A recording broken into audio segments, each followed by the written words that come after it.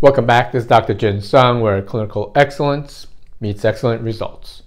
Today we're going to talk about bloating and low stomach acid, the mechanisms of why you might have low stomach acid, and the impact it will have on gut physiology. So let's get right into it. Bloating, low stomach acid. Main causes for hypochlorhydria. That's the technical term for low stomach acid. Number one, obviously, is medications. Antacids or PPIs or proton pump inhibitors will reduce stomach acid. Technically, when you use a PPI, you should use it only for short periods of time to manage symptoms. Oftentimes, patients come in and they're on PPIs for three years, four years, 10 years. And they have low stomach acid, which can lead to malabsorption issues um, due to inability to break down fats, proteins, and carbohydrates. So PPI is a big factor in low stomach acid. H. pylori infections in the gut. H. pylori is one of the most common gut infections in the world. It decreases HCl production because the H. pylori will embed into the lining of the, of the stomach. So decrease HCl production overall. Dysautonomia. Now this is not discussed very often, but head concussions or trauma can lead to what we call the decrease in parasympathetic function. So when you have a fight or flight uh, dysfunction, it can lead to low stomach acid. So parasympathetic is the calm, relaxing, so you can digest. So if you have a decreased fun function of parasympathetic system, then your sympathetic system, which is the heightened response, will uh, be an imbalance and the heightened re response will be higher, decreasing stomach acid.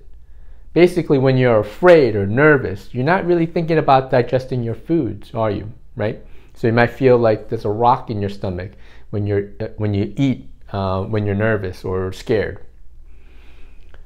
Hypothyroid, mild traumatic brain injuries, and brain degeneration will lead to decreased vagal function.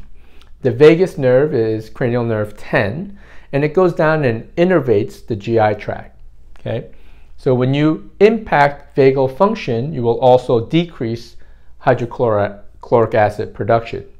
Right. So these different um, pathologies can create low stomach acid. Gut degeneration. Oftentimes we don't talk about this, but some people will have degeneration of the enteric nervous system, much like they would have a degeneration of the brain, right? Or neurodegeneration, Alzheimer's, and those types of things. You can actually have degeneration of the enteric nervous system. The enteric nervous system is about 30 feet long when you put it, you know, stretch it out. It has 200 to 600 million neurons. So it's very large, right? This nervous system is very large. And gut degeneration will impact that and decrease HCl production, right? Some people who have severe gut degeneration or severe uh, enteric nervous system degeneration may never get back the HCl function. Okay? Those patients really need to supplement and make sure they're digesting their foods.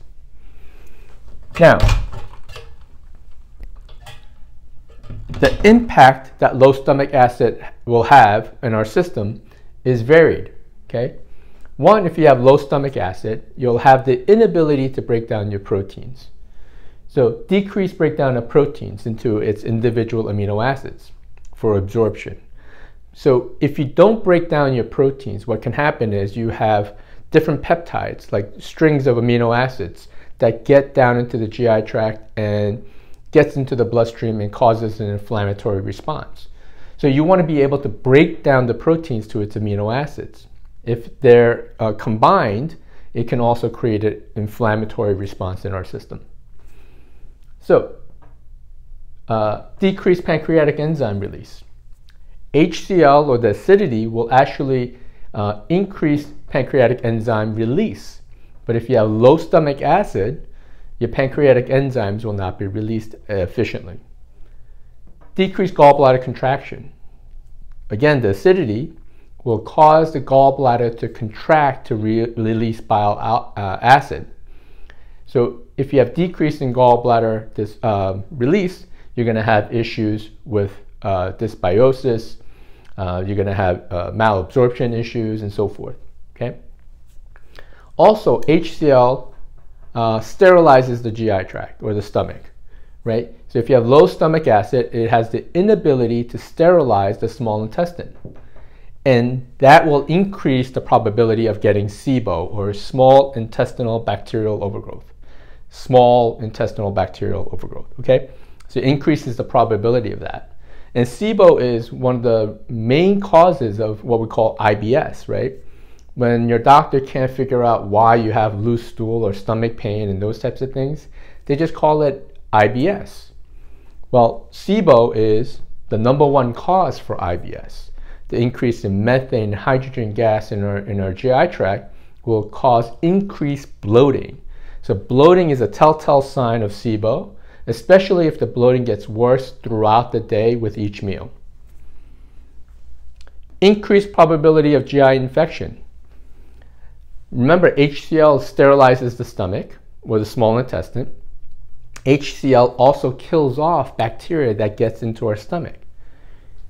So if you have low HCl, if you get some sort of pathogen, whether it's H. pylori or some sort of uh, infectious uh, uh, stool or fecal matter in our water system or food, the HCl can take care of it if it's really strong.